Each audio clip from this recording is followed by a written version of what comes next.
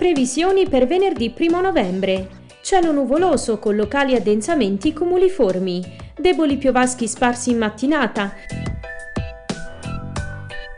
Temperature in diminuzione. Venti settentrionali di brezza tesa o moderati lungo la costa. Mare poco mosso.